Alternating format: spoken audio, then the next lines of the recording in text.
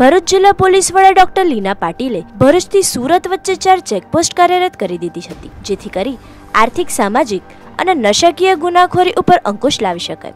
દરમિયાન શનિવારે સાંજે અંકલેશ્વર તરફથી ઇકો ગાડી લઈ ડ્રાઈવર સલમાન અને તેનો મિત્ર સોહેલ આવી રહ્યા હતા.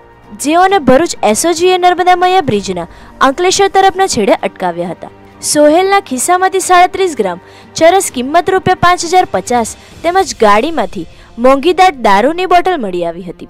એસઓજીએ ચરસ દારૂ બિયર બે મોબાઈલ અને ઇકો ગાડી જપ્ત કરી કુલ રૂપિયા બે પોઈન્ટ અઢાર લાખના મુદ્દામાલ સાથે ભરૂચની હુસેનિયા સોસાયટીમાં રહેતા સોહેલ હસન અલી પટેલ અને વસીલા સોસાયટીમાં હલીમા પાર્કમાં રહેતા સલમાન લિયાકત ખિલજીની ધરપકડ કરી છે.